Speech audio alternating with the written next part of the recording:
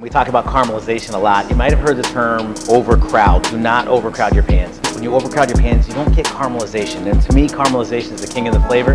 Um, I can't get enough caramelization whether I'm cooking steak, whether I'm deep frying something, or even whether I'm roasting something. So I want to show you an example of a go-to for me. Cauliflower this time of year is one of those things that's really near and dear to me, so I'm going to show you none other than cauliflower. But again, the focus here is on proper spacing and proper caramelization to really develop that deep, rich, caramely flavor that elevates the cauliflower from being good to great. So first off, we're going to get a little olive oil.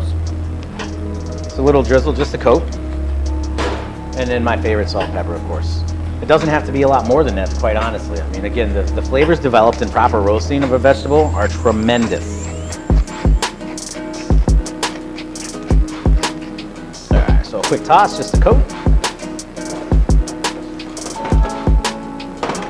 So transfer this onto a sheet tray. And again, I'm talking about proper spacing. You notice that the cauliflower is all about the same size for uniform cooking. That's obviously imperative in the process as well. But what I'm doing here is my pan may look a little big, but I'm giving all these guys room to breathe so the steam doesn't come up and then collect on the sides and then kind of condensate down or rain down on, on the tray. Um, and we're gonna get some really nice golden brown to dark brown cauliflower. Again, the flavor is gonna be perfect, super deep, super rich, and, and overall just wonderful. We're gonna transfer this to a 350 degree oven.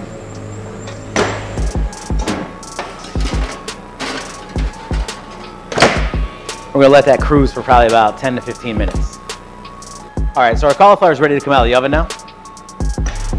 You open it up, oh yeah, there it is. So this, when you properly space something on your tray or we don't overcrowd anything, you can see how beautiful that looks, first of all. Second of all, the flavor behind that is gonna be amazing. Again, you're dealing with deep, rich, dark caramely tones, as you know by now if you watched any of the other videos that I really, really love.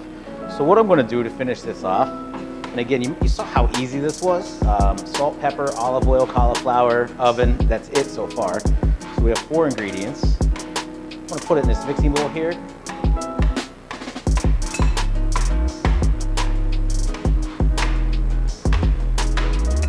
Good. Add just a dash of olive oil, for a little bite. Plus, I, I can never get enough olive oil, quite frankly. I, uh, I'm kind of a sucker for that. I had some pomegranate seeds laying around, so I'm gonna add those. Believe it or not, pomegranate cauliflower or two peas in a pod, a match made in heaven, if you will, and then some fresh herbs. And here I have some chives. So it's gonna give this a quick toss, and then we'll put it right on our plate. There you go, simply roasted cauliflower. This could be any vegetable, whether it's Brussels sprouts, whether it's baby carrots. The biggest thing is making sure that you get space and on your tray, that you're not overcrowding. Again, they have their own room to caramelize. That's when you get that beautiful look and that deep, dark flavor.